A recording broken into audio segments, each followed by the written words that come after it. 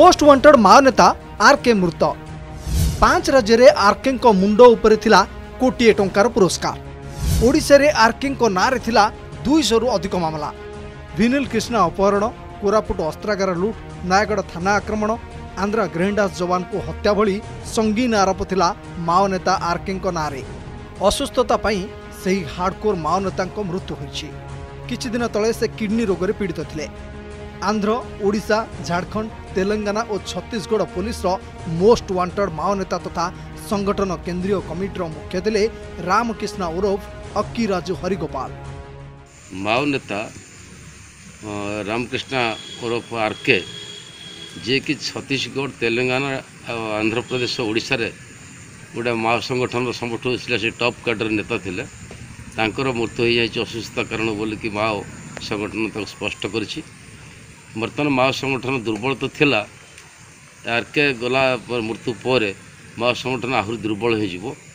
ଦୀର୍ଘ ଚାରି ଦଶନ୍ଧି ଧରି ସେ ମାଓ ସଂଗଠନରେ ସାମିଲ ଥିଲେ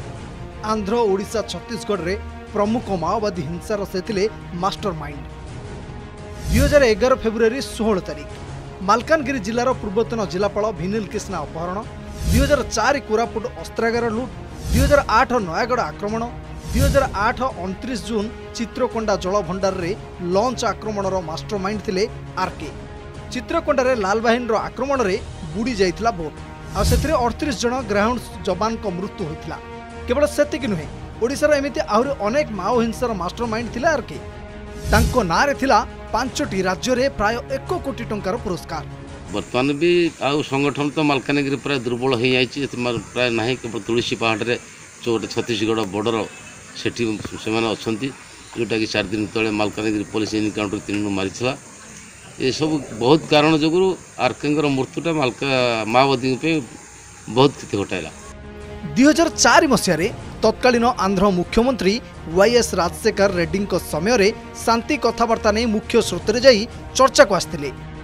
ଗତ ଦୁଇହଜାର ସତର ମସିହାରେ ମାଲକାନଗିରି ଜିଲ୍ଲା ସ୍ୱାଭିମାନ ଅଞ୍ଚଳରେ ଆନ୍ଧ୍ରର ପୋଲିସ ଏନକାଉଣ୍ଟରରେ ତାଙ୍କ ପୁଅ ମୁନ୍ନାର ମୃତ୍ୟୁ ହୋଇଥିଲା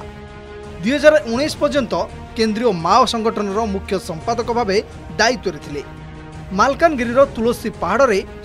কর্মী ও মাওবাদী মধ্যে পুঁ গুড়ি বিনিময় হচ্ছে বিভিএফ ও এসওজি যবান মিলিত ভাবে কম্বিং অপরেসন করছেন মাথিল অঞ্চলের থিবা তুলসী পাহাড়ে কম্বিং বেড়ে মাও ক্যাম্প ঠাব হয়েছিল গত তিন দিন পূর্ব